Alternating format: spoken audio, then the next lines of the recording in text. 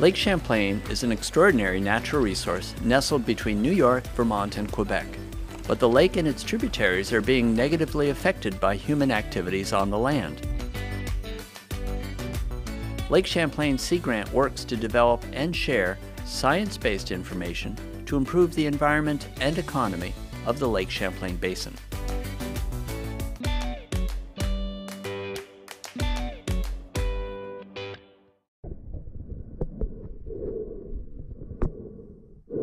Aquatic invasive species are animals, plants, and other organisms living in the water that have established populations outside of their traditional geographic range, often as a result of human actions. They can be harmful to native species and people alike.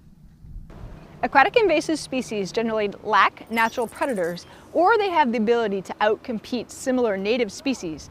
As a result, if they're introduced into a water body, their populations explode. These overpopulations can interfere with recreational fishing activities, boating activities, water intakes, and they can also raise havoc with native species biodiversity. Many aquatic invasive species that are native to places such as Europe and Asia got a foothold in North America when they were imported in ballast water of commercial ships. Ballast is fresh or salt water pumped into the cargo hold of a ship to make the ship more stable when they're empty. Non native species of plants and animals can also be introduced by people who have water gardens, aquariums, or exotic pets and release them into the environment. An example is the Burmese python in the Florida Everglades. Today in the Lake Champlain Basin, a common mode of uh, invasive species transport are recreational boats moving from places like southern New England, mid-Atlantic states, the Finger Lakes in New York, uh, even the Great Lakes, and potentially bringing invasive species to Lake Champlain. And another vector that people are probably unaware of is the Champlain Canal, which provides a direct connection from the Hudson drainage to the Lake Champlain drainage. Oftentimes, aquatic invasive plants can reproduce with just a fragment of the plant, and aquatic invasive animals have life stages that are invisible to the naked eye. As a result, if an angler transports water in a live well, or if a watercraft or a trailer snags a plant fragment, small-bodied organisms and plants may be inadvertently introduced to new water bodies, and if that happens, they can establish new nuisance populations. Lake stewards greet recreational boaters at boat ramps throughout the Lake Champlain watershed. They inspect boats and trailers and speak with people to learn if they have inspected and cleaned their watercraft and trailer, and allowed it to dry for at least three days. Boat wash stations are also available at five locations on Lake Champlain automatic car wash businesses have partnered to further help reduce the spread of aquatic invasive species.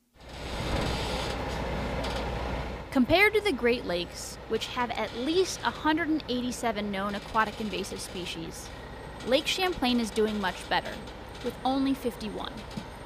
But each additional aquatic invasive species brings its own impacts. So, the goal is to keep new ones from becoming established. Unfortunately, once an aquatic invasive species is in a water body, it's difficult, if not impossible, to eradicate it. The best action we can take is to prevent introduction of these species to water bodies in the first place. The latest aquatic invasive species to be found in Lake Champlain was the fishhook water flea in fall of 2018.